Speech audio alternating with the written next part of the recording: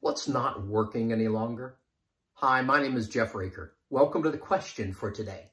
As you are going through the different seasons of business and dealing with business in a pandemic, toward the end of a pandemic, wherever we might be, what's not working any longer?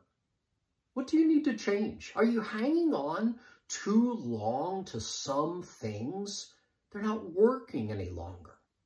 You might like to do what you do the way you do it. Does it work? There's a choice to be made.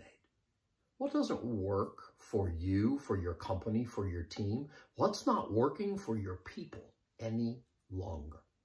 And you need to shift because success is not about you. It's about the team.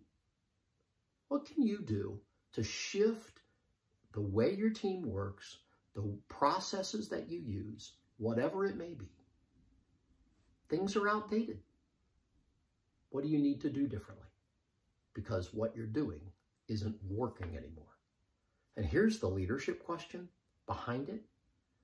What's keeping you from changing it? Name the fear.